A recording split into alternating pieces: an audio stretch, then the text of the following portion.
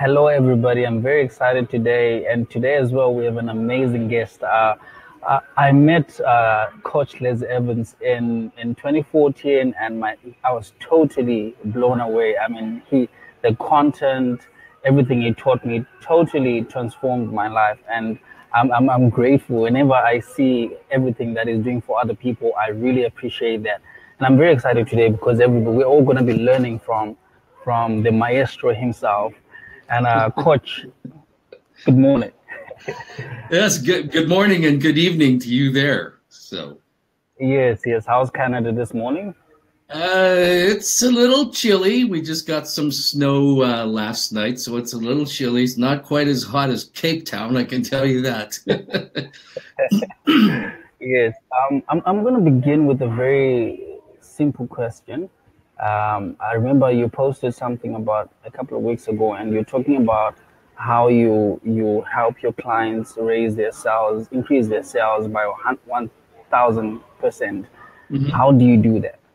how do you do that and for the benefit of those who didn't get the chance to to view um, okay well there's first of all that's a very good intelligent question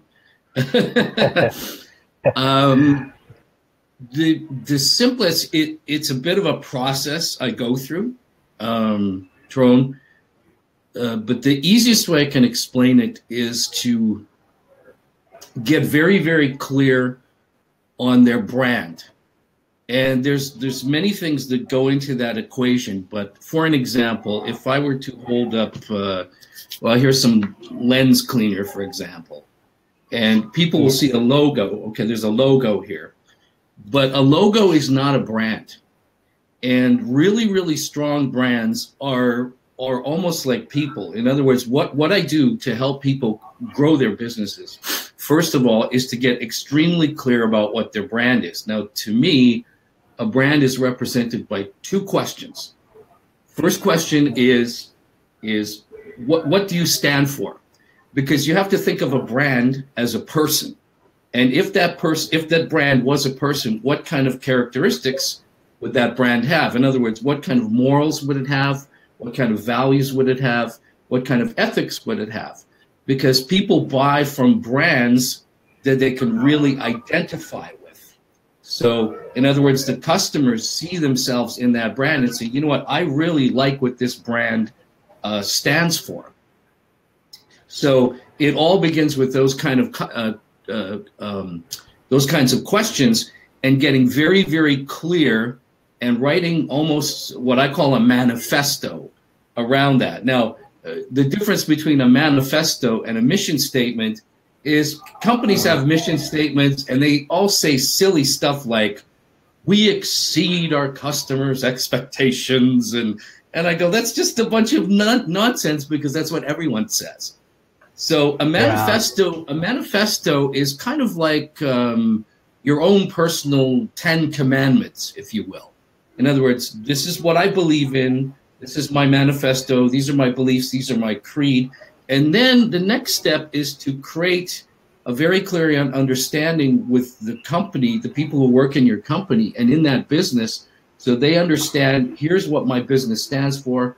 This is what I stand for. And um, I can give you an example. One of the most successful coaching students I have is from Johannesburg, actually.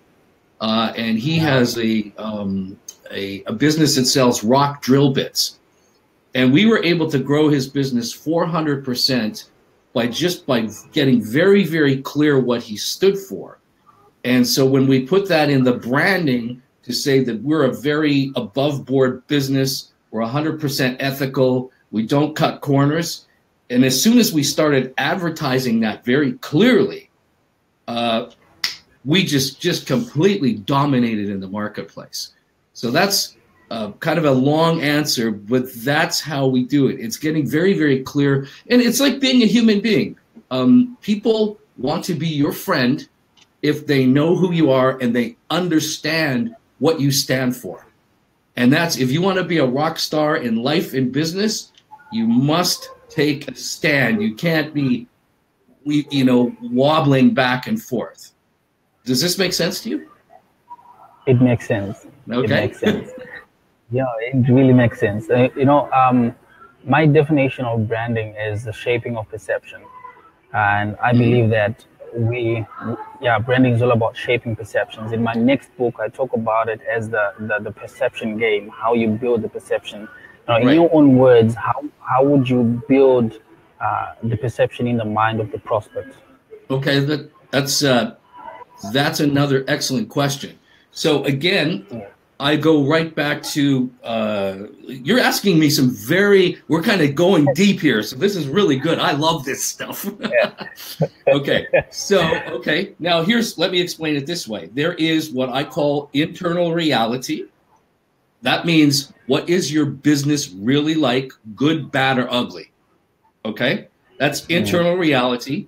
And then we have, as you say, building a brand is the perception part. So that's external perception. Mm-hmm. Whenever I work mm-hmm. with a coaching client or coaching student, the first thing I want to do is I want to get the internal reality as good as possible. In other words, mm-hmm. you really should endeavor to build a better product, a better service. You should always endeavor to be better and always innovate and, and, and increase, you know, increase the quality of what you do. Having said that, the conflict comes when the external perception does not match the internal reality. So some okay. businesses, some businesses are really great at branding, so their external perception is very good, but then when the customer buys or uses the service, it kills the brand okay. because these two do not match. Uh, other businesses have a problem when their internal reality is excellent. In other words, the product or service is great, but their external perception is terrible. So, in the case of uh, my friend Mr. Martins from uh, Johannesburg with his company, his internal reality was fantastic. He had a great product. He just didn't know how to present that to the public. So, we got very, very clear to do this. Now, what I did, and this is what I believe is the best if your outside perception matches your internal reality, in other words, there's a great congruence there, then your mm-hmm. your perception is gonna kill it in the marketplace. Because if there's one thing people love today, it's authenticity. So if you can if you can genuinely represent how great you are, and by, and by the way, you don't have to be the best. You just have to be honest in your perception. And and I'll give you an example of this. Um, there is an uh, there's an airline from Ireland called Ryanair, and everybody knows it's like a terrible airline. So their internal reality really isn't that good. But everybody knows they're a terrible airline. Everybody complains about it, and everybody jokes about it. But that's their mm. brand perception, and they actually stick to it. And because they're mm. honest about it, they get tons of business. so wow. that's that's that's the key. Is is just like I said, you can be good, bad, or ugly in business as long as you're honest. If if you're lousy and you know it and you admit it and you wear it almost like a badge of honor, people will still buy from you because they'll go, okay, you know, not every company has to be Rolls Royce. You really don't have to be. It's when you pretend to be Rolls Royce and you're not. That's where the problems start. Yeah, yeah. Okay. Wow, that's very that's very profound. You know, uh, most people position position themselves as something they're not. You know, I find this very common with with with a lot of people, and I call it the fake it till you make it syndrome, where people yeah. believe that you know I can just fake it till I make it. And how, uh, how would you how would you advise somebody who's starting uh, so that they can position position themselves in a way that is appealing to the to to the people. Okay, so it it depends on their um, it depends on their business, obviously. Um, I think what is more important, instead of faking it till you make it, is to, as as uh, Professor Amy Cuddy says from Harvard University, she says you should act as if until you become. So, from a just from a personal stand, I'm going to talk personal coaching here, personal transformation as an individual, you always want to um, increase the quality of the character of you. Okay. Uh, per, for example, I, I want to call you Dr. T almost. yes, Dr. T. because you almost look like a Dr. T when we talk. I love that. Um, but yeah. uh, mm. all joke, all joking aside, you've probably heard this expression that uh, people don't buy your product; they buy you. Have you heard that expression before? Yes, that is true. That is true. Okay, okay. So my question, when I when I get people to agree to that statement, my question to them is: if that's true, how good is the quality of this product? That's the first thing I want to know if people really buy you, then how good is this? How good is the mind, the body, the soul? How good is the character? So if you don't have all the character traits of a high performing, high quality individual, then you should act as if until you acquire them. That's that's step number one. Okay. Um, yeah, where was we? I lost my I lost my train of thought. That's the first part of the question. You can tell yeah. I need more coffee yet. Here, so. yeah. Uh, Sorry, just quickly repeat the first question. Forgive me. Okay.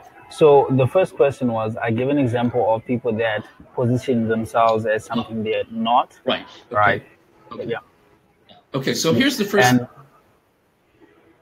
Yeah, you can go ahead.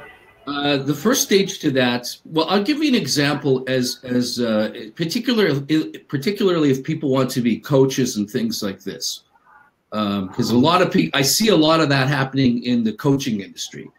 They position themselves like they're better than they are, and that's simply not necessary. The one thing I learned, and you you probably can't see it back there. This is this is my home office. I have this is my wall of fame. I have it's a lot of stuff. But I have a um, a songwriting award from the second highest Grammy award winner in in in the world, and uh, that's something I got years ago. But I learned something from this gentleman that was very profound because I had asked him a question. I said, "How did you get so many hit records with so many great artists?" And he says, "It's a really good question, and the answer is this." He goes, "The most important thing." is I only work with artists I can create a hit with. And I thought, wow, this is profound. So I was never a coach until about five years ago. Uh, I was a businessman. I learned how to speak and I built an investment company and then I sold it and kind of retired from that. Um, but what I learned is when I got into coaching, I said, I need to build a track record of success. And now here's the mistake a lot of people make when they go into business. They will, you'll pardon this expression, they'll prostitute themselves to anyone who will give them money. And I don't think that's a strong way to build a business. You have to start a business based on honesty and integrity, and, and those words mean something. So when I first started coaching, I would only coach people that I knew that I knew I could have success with. Because you see, you can have a great student and a great coach, but the only important thing is are they great together? And not um, not every customer is meant for you. So I started off very slowly, and I would pick and choose my clients very carefully, and that's why I have this wall of fame today because I, I made it very I made it very easy for me to win. I would only work with people that I listen. Uh, I mean, apparently I'm pretty good at this. That's the rumor. Uh, you are. but that does not mean I'm the right coach for you specifically. And it has nothing to do with anything except that are we a good match? That's the only question that matters. So in business, you want to build your reputation. And I, for example, I have uh, two young gentlemen who live very close hereby. They are building contractors. And, you know, they do home renovations. And when I got them to think like this, I said, listen, your job is to only do jobs that you can do in an excellent fashion. I don't want you taking money just because you think you maybe sort of can get away with it. And they in Canada, I, I know you guys are in South African Rand, so it's about a 10 to 1 difference, let's say. So they were doing their average job would be, if I convert in uh, two years ago, was 250,000 rand for a renovation.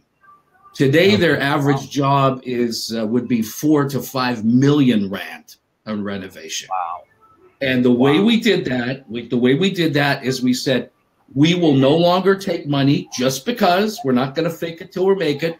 We're going to do smaller jobs. We're going to do them in an excellent fashion. We're going to build a reputation for excellence because that's our brand. We will never take money unless we can really, really do well. And what turned things around is when they were approached by their first customer to do a renovation for 1 million Rand, and I told them to turn it down because they knew they couldn't do the job. They didn't have the capability. And when they told the customer, at first the customer was very angry, but then he came back and said, I really want to do business with you now because I know you're honest. So the customer increased the contract by another 50% immediately. Wow. And that, wow. My friend, is how you build a legitimate, honest clientele. Start small. If you're small, it's okay. Just tell people the truth. It's a miraculous business formula. wow, that, that is very impressive. You know, um, I've, I've sat down with quite a lot of people, and we always have this conversation where people ask me, What's the return on investment uh, of building a brand or developing a brand? And most people don't want, uh, most people are so comfortable with being transactors, they don't want to build a, ba- a, a brand. You know, in your in your own, how would you how would you measure how would you measure uh, the success of a brand to, to actually say that this brand is successful? Is it through sales? Is it through loyalty? How would you measure it? Well, to, it, it's it's all of those things because to me, loyalty means repeat business. It's repeat business because if and it, and all of this goes down to sustainability. So your previous question, Doctor T, was uh, was very relevant because here's the thing. If you if you're if you're faking it till you make it that means you have zero authenticity and you are not sustainable because people will find out very quick. I mean this is the internet. We're we're literally thousands of kilometers apart and yet here we are connecting together today which is just I mean, it's it's incredible. I love this technology from this standpoint. So, yeah. building sustainability. How do you measure the rate of return? Uh, return on investment is: Do we have an increase in sales? Do we have an increase in customers? Do we have greater longevity? For example, I can give you. I can't tell you the business. It's actually in Cape Town, South Africa. It's one of my coaching students I helped out with. It's a restaurant and bar. And I can tell you that one, once we got the branding dialed in, not only did the sales increase by 77% in seven weeks, uh, the amount of regular customers doubled, literally doubled. So we had customers, the customers, the, the existing customers started coming back two weeks earlier than previously before because we created a better brand, a better customer experience, and we doubled the amount of regulars in just eight weeks. That's a great brand because it's sustainable. People are coming back because they want to be there. Wow, this is amazing. You know, um, many many many businesses struggle with with staying consistent in in, mm-hmm. in their offering, staying con- consistent. I mean, what advice would you give to uh, somebody who's struggling with being consistent and how ensure consistency in in everything that you're doing in your business? Well, the, the number one rule uh, of all of that is measurement. Measurement. Okay. And and you have to when I say measurement, we have to take a look at the gap between where we are now and where we wish to be.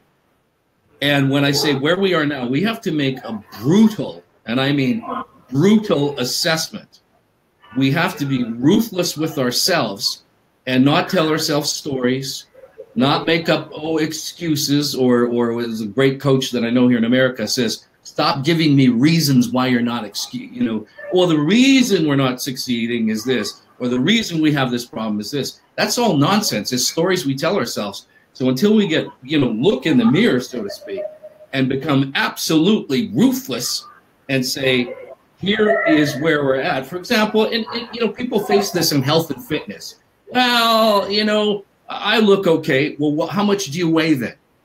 And what's your specific target? So how much do you weigh now? And be ruthless. And and and with your diet, are you really are you really eating healthy, or are you fooling yourself thinking that maybe because you had a green smoothie six weeks ago that you're doing something. But when you actually begin to, uh, if I take my pad of paper, for example, when you ex- actually begin to document what you ate that day, how much sleep you got, how much exercise you did, and then start to plan and don't make a to-do list. You need to schedule in or schedule in, depending how we say it, into your mm. calendar these tasks. See, everybody makes the mistake of a to-do list. Successful people don't make to-do lists. They schedule in, eat healthy, get exercise, da da da da da da da da.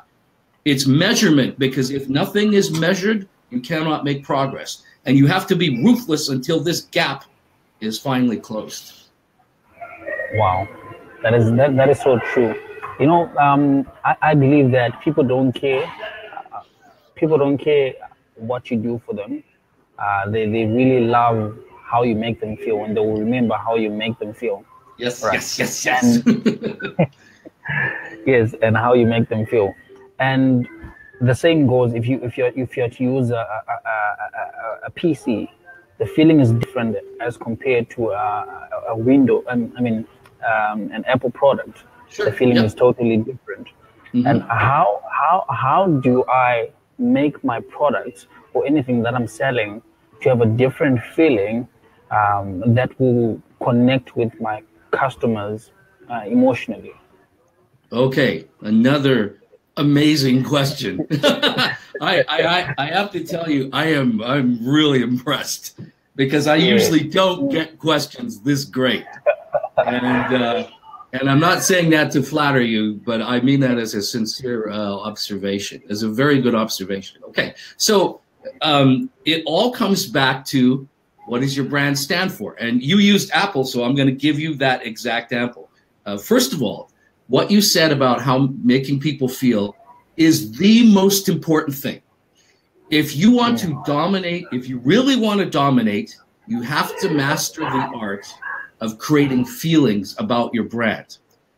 People will pay more money for feelings than anything else in the world. If you don't believe me, why do they go to sporting matches? Why do they go to concerts? Why do they do what they do for work? Why do they go to a movie or read a book, etc., etc.?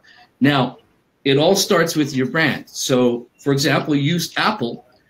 A lot of people think Apple's brand is the Apple logo, you know, where you have the. I've got one on my mouse because I use Mac products. Uh, what yeah. Steve what Steve Jobs said very clearly many years ago. Here's Apple's brand. Number one, number one, we create the best consumer products with the best user experience. Key word user experience. Number two, our brand is where we refuse to compromise, and this is an important part. We will never cheapen our product's quality just to get a lower price. So they'll never, quote unquote, prostitute themselves just to sell lower. So if you want a less expensive product, go someplace else. So they were very, very clear on their brand. Now, the user experience. Apple does everything they can. When you go to their website, it looks a certain way. When you walk into an Apple store, if you've been to one, it has a certain look and feel to it. When you buy Apple products, even the feeling of the packaging, and people are insane. There's people on YouTube that actually videotape the unboxing. You know why? Because Apple has been clever enough to understand that the unboxing, the reveal, the magician going, voila, is is all part of that experience. And I will tell you, and again, I can't mention the firm, but there is a law office in Cape Town where when you walked in their door, you did not have a good customer feeling because it was dingy and they had horrible coffee and lousy furniture and it kind of smelled in there. So, but when they mm-hmm. invited you into the lawyer's boardroom, well, that was fancy, you know, big fancy table and leather chairs and beautiful lighting. And the first thing we assessed was, okay, wait a second. What does the customer think? I get to sit in this horrible room, but you lawyers get to have it nice, which means that I'm paying you all this money for you to live in luxury and you treat me like garbage. That's how people feel. So, long story short, and I can't tell you what we did because this is private, obviously, but if you use your imagination, you see, you and, and whoever's watching this today, if you tap into your creative imagination and ask yourself simply, if I was the customer here, what kind of experience would I want to have? I mean, how many times have you walked into a restaurant or a business and they didn't even smile at you? I can tell yeah. you that a, a smile alone will increase revenue. Teaching your staff to smile will get you more sales. I guarantee you. And I know that because I've done it dozens of times all over the world. I mean, I've now spoken in uh, 75 cities all over the world. So uh, the one thing that's universal is this: a smile is universal. So if you think think of how can you create an incredible customer experience, and and you can even with rock drill bits. We were able to build in exciting moments because we started putting prizes in the boxes. So when the customer would open up a box, and these are drill bits, this is boring stuff. but the customer opened up the box and there was a prize inside. And that made wow. wow, you know, and it's not expensive. It doesn't have to be expensive, it just has to be a surprise. So if you can think of, you know, uh, just like how can I, I used to shop at a menswear shop locally. The first wow that I got was when I walked in in the morning and the gentleman at the menswear shop said, Good morning, sir. He didn't jump all over me to sell suits and ties. He said, Good morning, mm-hmm. sir. May I get you a, a, a, cappuccino or a latte while you're looking around? And I said, um, Sure. Okay. How much? He said, I beg your pardon. He said, No, that's no charge. He goes, It's, it's on the house. Please feel free to relax and enjoy yourself. I'll get it ready for you. I have a machine right back here. And I went, okay, this is different. So it was just that little thing, you know. He didn't, and he served me really good coffee, not cheap, you know. so okay, so just I, I'm not going to go on, but that's the idea. Just think creatively in your imagination. If you're an entrepreneur, use your creative muscles and say, how can I make this a lot of fun? Like if if it was cool, what would I do? And I can't tell you how many. There's a cooking school I worked with out in Stellenbosch we created the coolest culinary school in the world by using those ideas. Wow. You know, I, I don't know who said this, but somebody said that you know, a, a, smile is so powerful, it can even break ice. You know, you meet somebody for the first time, a smile can actually uh, break ice. Um, you know, when, when you look at um, companies like Apple, if you go to Apple, you know, a person who works at Apple, their name tag says genius you know it makes you feel like uh, you're being served by somebody who who who knows what they're doing.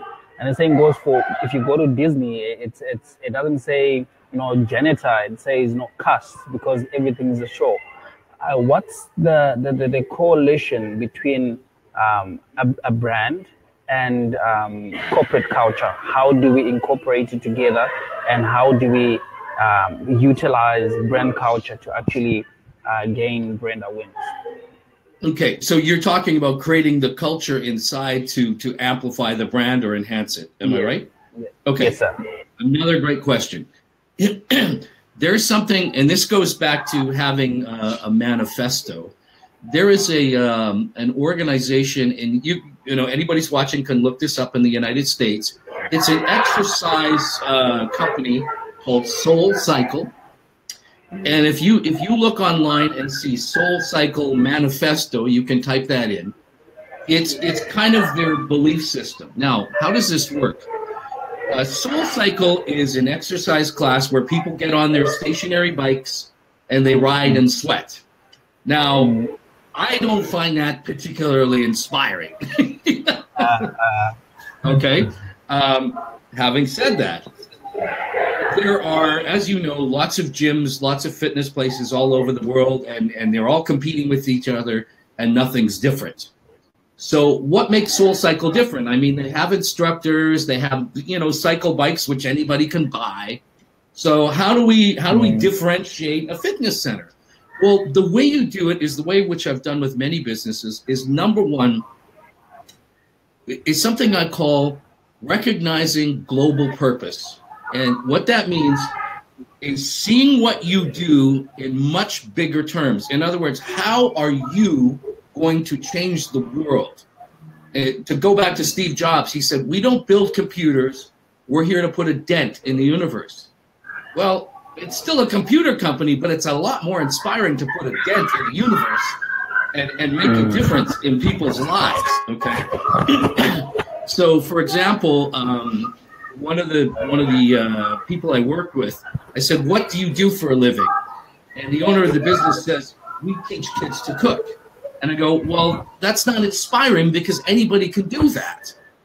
And I said, so I asked this lady, I said, when you're when your kid and the, the students are 18 to 20 years 22 years old okay they love to cook great but that's not inspiring that's not enough so i said when your students leave your school where do they go and she said well they go all over the world and i said okay so here's here's something i have a question for you you teach kids to cook it's like boring okay so, uh, but I said, I said, take a look at what you do. I said, number one question, and you and I, I'm in Canada, you're in uh, South mm. Africa right now. Here's, I have a mm. question for you, Doctor T. How important mm. is food to life?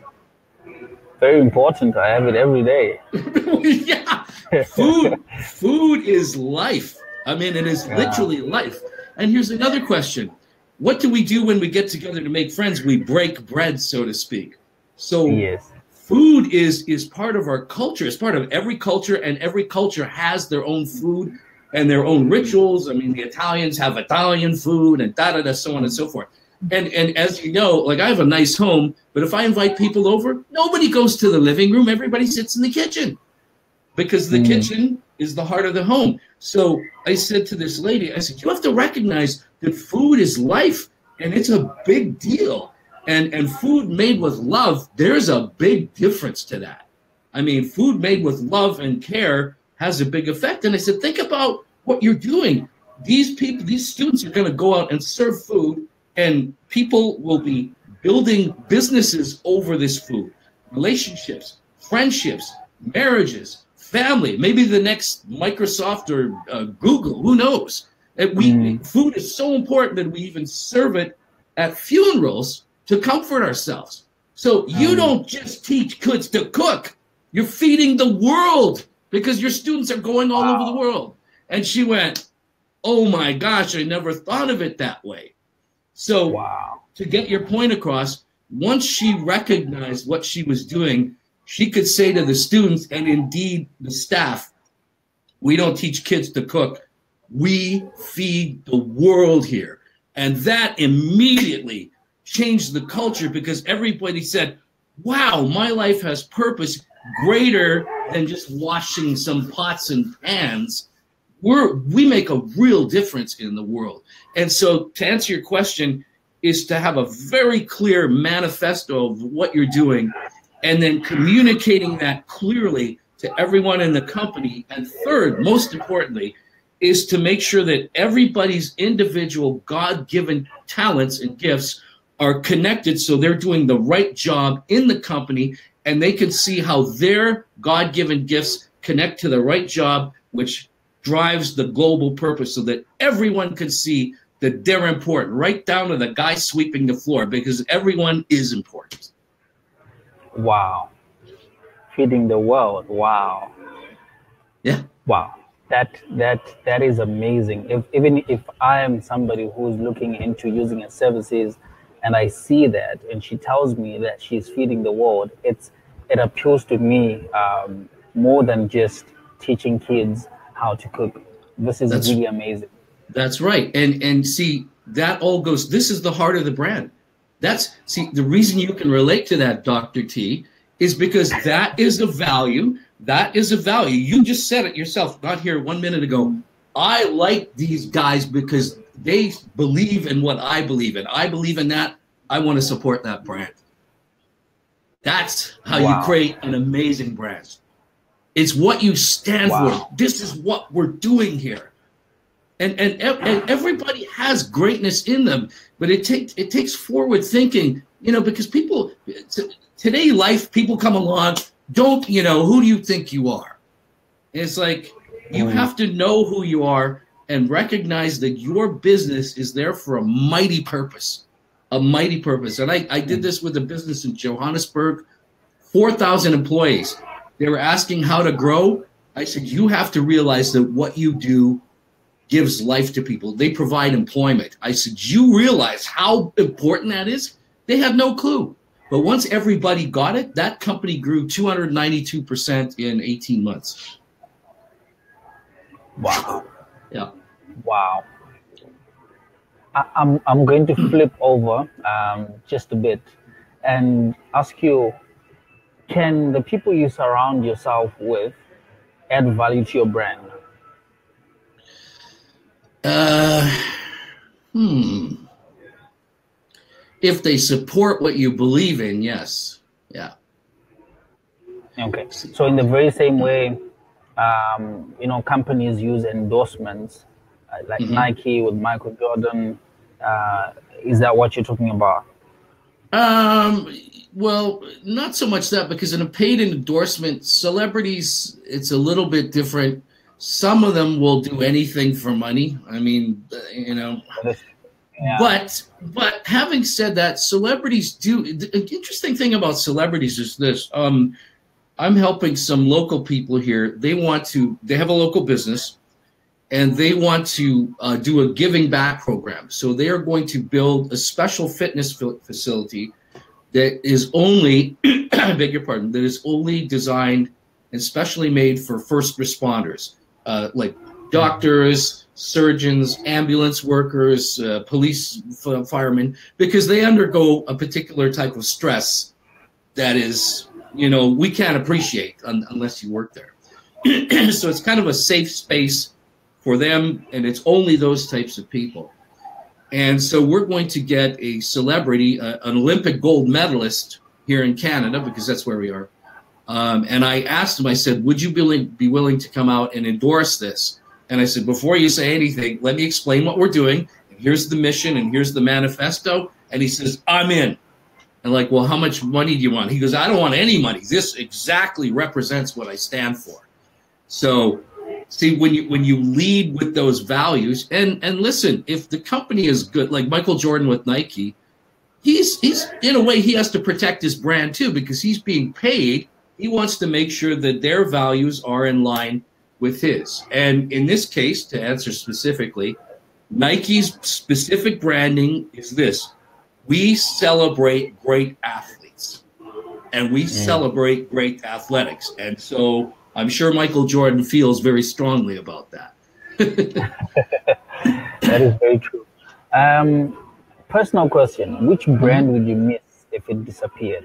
Let's say, I don't know, something happens and that brand just disappears. Which brand would you miss, and why? Uh, boy, that's. I can tell you which brand I would I would, I would, miss personally. I have two at the moment, uh, okay. uh, which is Harley. Harley. Harley uh, Davidson. Uh, Yes, I would totally drive a Harley if I wasn't scared of bikes. okay. Um, Harley and um, obviously Google because she knows everything. Yeah. well, yeah, Google. Yeah, that's interesting. Um, yeah. For me, it would be uh, Fender guitars. Yeah, because wow. I'm, I'm a I, am a musician. Uh, yeah, I, I have. Uh, well, there's one sitting here, as a matter of fact. I have. Uh, I won't pick it up and play right now. I could, but you know, here it is. You, you can just show me.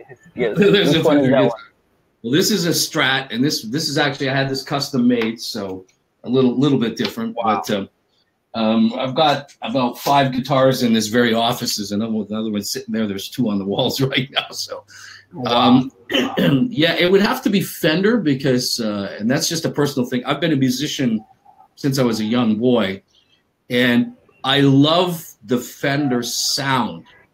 Uh, and I can recognize the sound of a Stratocaster, this particular guitar, anywhere. I, I, just know that sound. And I just love that sound. And only a Stratocaster can sound like a Stratocaster. And it's just, it's, um, it's the way the, the woods they use and the design and all these different things. A, a Gibson, for example, they're great mm. guitars. I'm not a fan of Gibsons. I just love that Stratocaster. So if, and here's the interesting thing. What you're really asking me is what feeling would I miss? Yes. See? Because that's a yes. feeling. And if once you understand that brands create feelings in people, it's that feeling that they're really missed because every person um, buys stuff. There's always an underlying feeling, always. Mm. And I don't care if people say, well, I, I, I, bought a Volvo because it's practical and intelligent. Well, that's because you want the feeling of being practical and intelligent. It's still a feeling. So, mm. yeah. Wow. And what happened? What happened to uh, Les, the musician? Why did you did you why did you not take the path of becoming a musician? Why did you um, decide to business? Okay, well, that's another good question. I, like a lot of young people growing up, wanted to be a rock star, you know, and I, I had, I had posters of rock stars, you know, in my bedroom wall, and I still do, except now I'm in the pictures with a lot of them, so that's kind of cool. Um, but what what I didn't know when I was very young, like eight eight or nine years old, what I didn't know, and my parents couldn't possibly know because they weren't musicians is that to become a rock star takes incredible dedication and a lot of practice, more practice than you can imagine. Uh, if you want to start, you have to start when you're eight years old, like I am. But instead of practicing an hour a day, you have to start with four to five hours a day and eventually get up to eight or nine hours a day of practice. And then by the time you're 24, 25, you'll have put in, you know, 15, 16, 17,000 hours of practice and you'll be ready to be a rock star. But it's even more than that it's uh, not only do you have to be musically proficient, you have to be incredibly mentally tough because that business is one of the hardest in the world to succeed at. You have to undergo incredible discouragement. It takes a long time to learn how to write music, how to become a performer, how to handle the fame. There's so many things to it. And uh, I just I just didn't have a clue. And so I was a singer in my 20s, and unfortunately, because I didn't have a vocal coach, actually damaged my vocal cords so badly, I had to get out of music entirely. And that was another blessing, though, because it led me down a different path of knowledge. And I got so into reading and studying about business and success and all the things that we're talking about that I ended up becoming a different kind of rock star in this world. And I, I don't call myself by that, by the way that was a title that's been given to me by people all over the world. They call me the legend and amazing yeah. and all this stuff. I, I don't call myself that. That's what people say about me. Yeah. So I just, I just want to make that clear that I didn't give myself that title. wow. And and I, I can totally relate to that because I, I I play bass. So when you're talking about Fender, I know Fender and uh, for bass guitars is mostly a jazz bass guitar yeah. and these Fender yes. So I, I can totally relate to that. It's a decision that I had to make as well, uh, which path I, I wanted to take. And I would, I tell people that business chose me. Uh, it, I did not, yeah, I did not choose that by myself.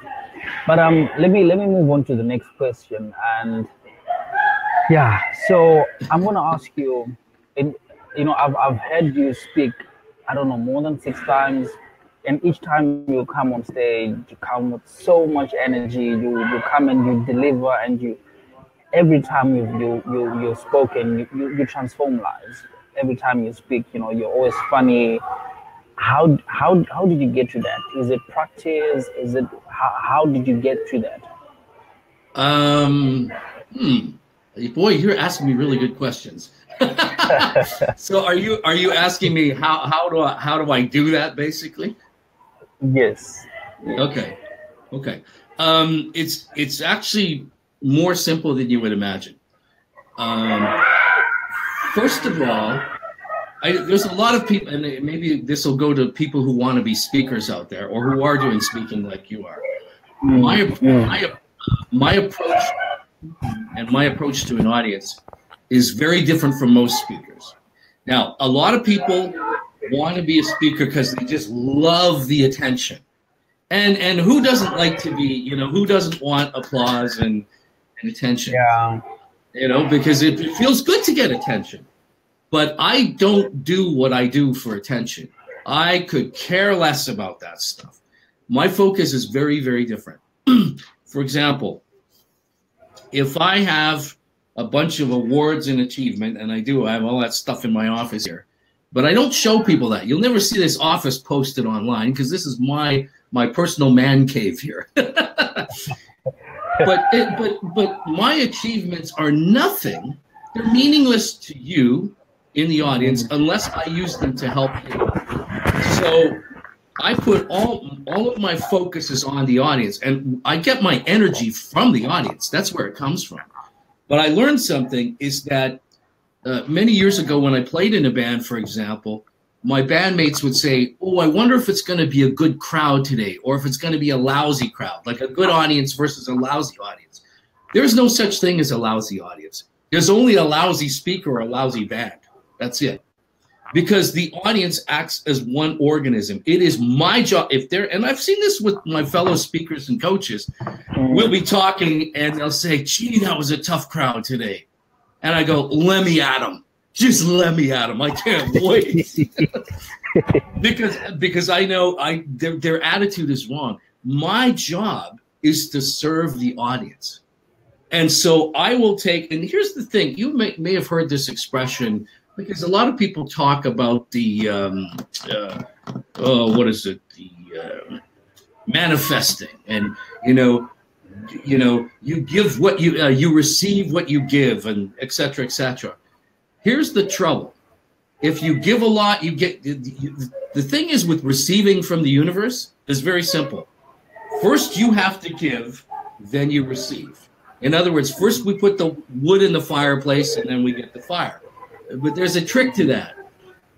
As a speaker, you can't hold back anything. And that's where speakers make a mistake. They're always holding something back when I work with the person, whether it's one-on-one coaching or from front of 3,000 people, I I cut loose. I give it everything I have, heart and soul, everything. I'm not afraid if I get upset set on stage and I get teary-eyed and I start actually crying, so to speak. I don't do that on purpose. It's not an act. But if I'm getting worked up emotionally, because my purpose is to connect with you in the audience, that's the only thing I care about.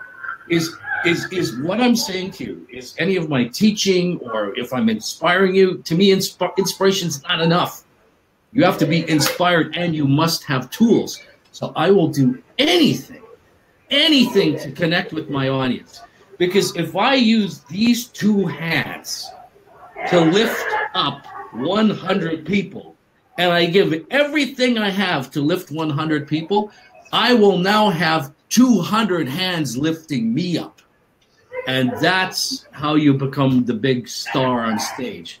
It's not by lifting yourself up, it's not making yourself great, it is making your audience great. And that is the only thing I care about as a speaker. That's it. I don't care. You know, it's funny. This weekend, I spoke in Charlotte, uh, United States. I spoke to 100 people, and I did what I do because this is just my focus.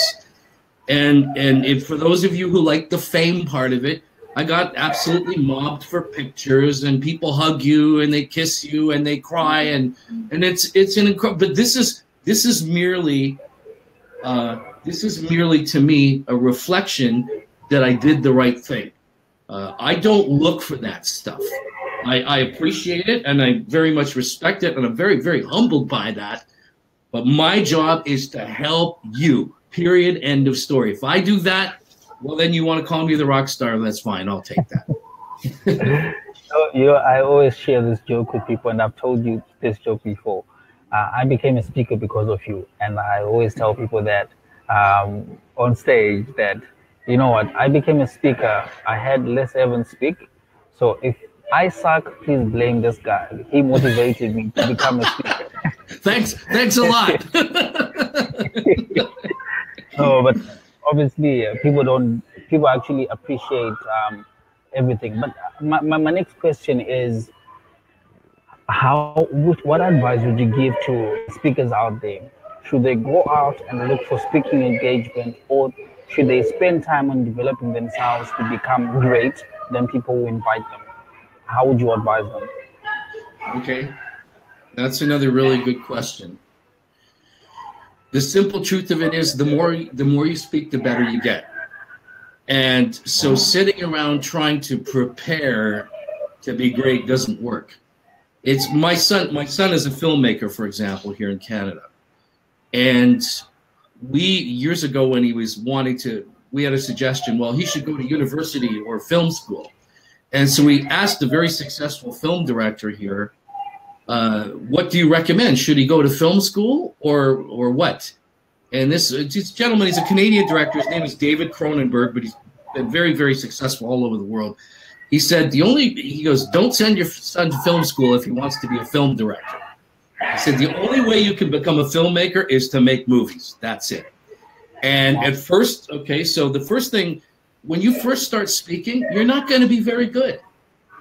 You know, you have before you can be phenomenal, you have to be great. And before you can be great, you have to be good. And before good comes okay. And before okay comes you really suck. So but but but the thing is, if you persist at it and you learn, like every time I speak, I make a mental note and say, did that connect? Did that work? No, that didn't work. This didn't work.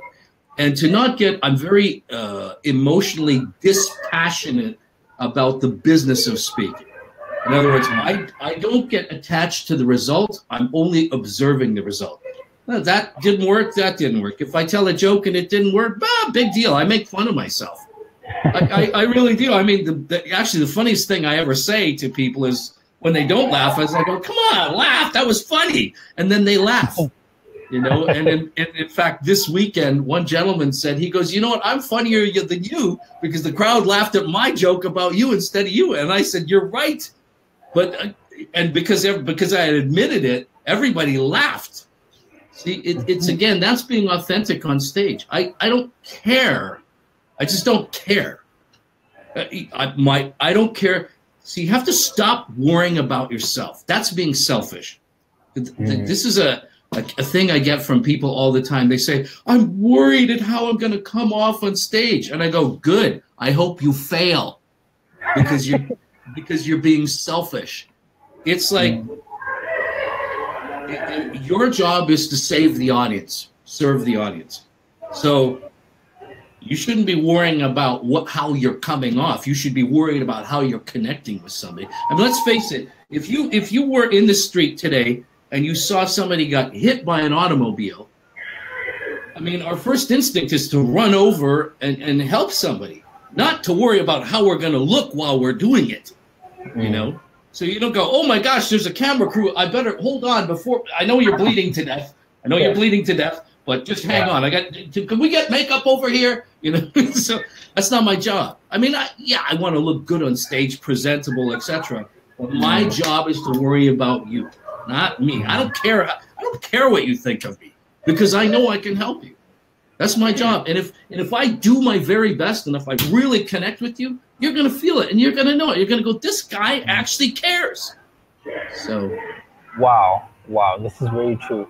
You know, uh, a man once said that the success of a man is not valued at uh, by the amount of money he makes, but it, it is valued by the the number of people that he he helps and he develops you know yeah. and in, in, in, in my you're a very successful man because when you look at all the people that are, are becoming speakers or are becoming uh, successful entrepreneurs because of your contribution to this world and personally i just want to say i really appreciate that. And you know johnson a said that the new kind of billionaire is not the one who owns a billion dollars or you know has a lot of money but the person who impacts a billion people. And i can safely and boldly say that you have impacted more than a billion people and we really appreciate that. You know my i can't I, I can't even i don't even know how to uh, how to process that but thank you. Yes uh, you're welcome. So um in closing what advice would you give to anybody any entrepreneur out there? Uh, what would you say to them in closing? Um, okay, the biggest, probably the best piece of advice I could give you is this to anyone who's listening is don't make the mistake of focusing on X amount of money. Now, that's okay, but I just want to, I'm going to clarify this for just a second. Focus on what do you want your life to look like? Not necessarily what do I want to do or how much money I want to make. visually, a mental picture in your mind's eye. What do I want my wife to look like? And then once you find out what you want it to look like and be very clear about what you want, because most human beings, and, and I ran into this yesterday. There was an Asian lady yesterday. She's like, I, I, I, I, you know, I'm not sure what I want. And I go, yeah, that's a very common problem. I mean, here we are grown adults and we don't know what we want. And she says, well, I can't figure out which one I like, what lifestyle I want because I want this, but mm-hmm. then I want this. I mean, I'm sure this sounds familiar, right? She's like, so how can you tell me how to do that? And I said, well, let me tell you a couple things. First of all, if you get clear about the life you want, then you just need to figure out how much do I need to sustain that life. And the dollar equation becomes much more clear because if you set a goal, an arbitrary goal, let's say of a hundred million dollars, there's no context, there's no meaning because you can't relate to a hundred million unless you have it.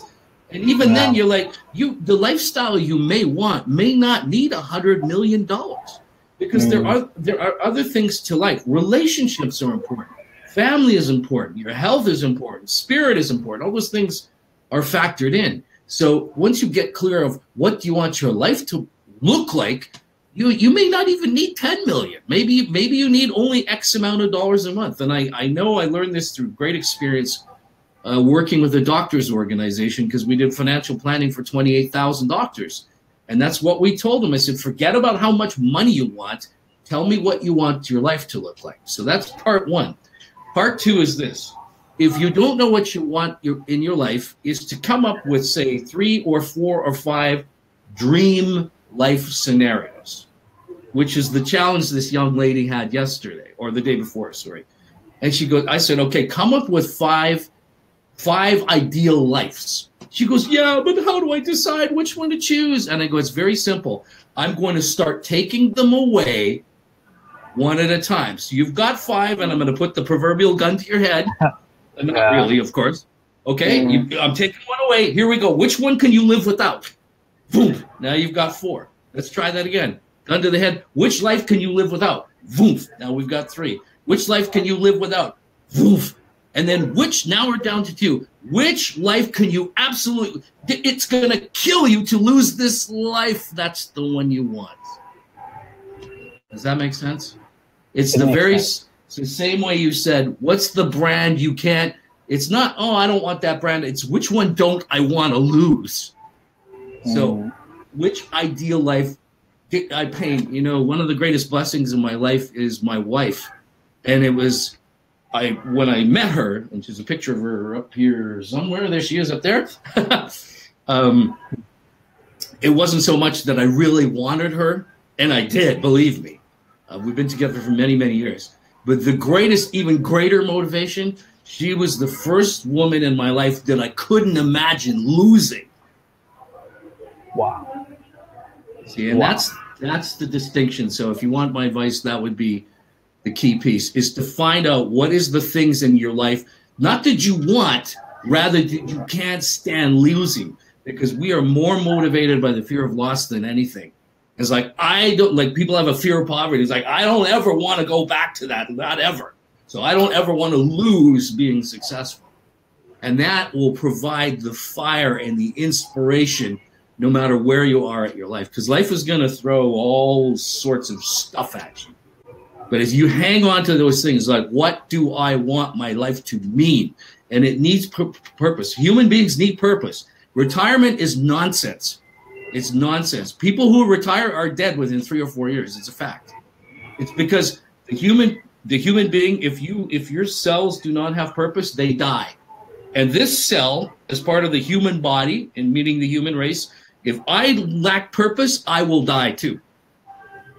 So work is the most important thing. It's to choose work that defines our lives, that gives us purpose. And the way we get by purpose is to look at the bigger picture, to say, I'm going to feed the world rather than teach kids to cook. And that's my answer to you. Wow. Thank you very much. I really appreciate you uh, taking time out of your very busy schedule. We've tried so many times to have this interview. I don't know for how many months now. Not even Yes, and I really appreciate you taking time out of your busy schedule to do this. Thank you very much. I'm sure everybody was really impacted and we learned a lot. We learned a lot. It, it's uh, absolutely my pleasure, and I was happy to be able to do it. And uh, you caught me at the perfect time because I just finished speaking to all those people this weekend, so I'm still kind of in that mode. so. I can I can feel that. Okay. No, thank you very much, everybody, for watching. Uh, see you next week. Thank you.